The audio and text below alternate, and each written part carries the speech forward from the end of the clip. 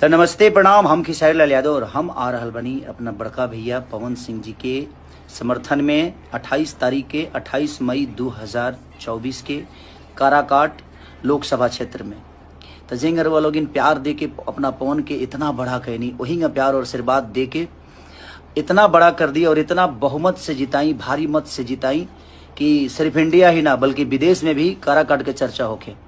ऐसा लागत है जे काराकाट में ही चुनाव होता। पूरा इंडिया में होता ज़रूर, लेकिन लागत है करे काट में ही एगो खाली चुनाव होता।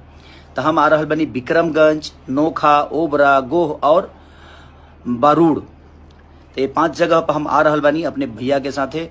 उनका समर्थन में उनकर चुनाव चिन्ह बा कैची छाप। जे जे विकास नहीं के लिए के काट के हटावे खातिर कैची छाप मिलल बा उनका।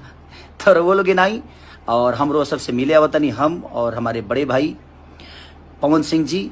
और बस आप लोग का प्यार जिसके साथ है, वो दुनिया का सबसे बड़ा आदमी है। बस यही कहना चाहता हूँ तो जिस तरह उनको संगीत में आप लोगों ने बड़ा किया, कला क्षेत्र में बड़ा किया, उसी तरह आप लोगों को अब उस आदमी को नेता भी बड़ा बनाना है, ताकि आप सबके विकास के लिए काम करें। तो लव लवी हम मिल रहे हैं 28 तारीख को आप सबसे काराकाट लोकसभा क्षेत्र में और विक्रमगंज से स्टार्ट करेंगे हम। तो love you all, thank you.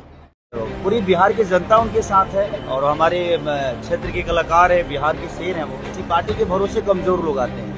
हमारा बिहार का शेर आदमी है, वो अकेला ही राजा बिल्कुल बिल्कुल हाँ बिल्कुल जा रहा हूँ। बिल्कुल जा रहा हूँ। रोड शो होगा, हेलीकॉप्टर शो होगा, दुनिया का जो भी शो होगा, सारा हो जाएगा। पवन भैया अकेला कहाँ है? उनके पास पूरा साम्राज्य है, आज बिहार की जनता है। वो आदमी अकेला नहीं और वो अकेला ही काफ़ी है। देखिए, नेता में और बेटा में बड़ा फ़र्क होता है। पवन सिंह बिहार का बेटा है। कोई नेता बने अलग विषय है। बिल्कुल जीते ना हम।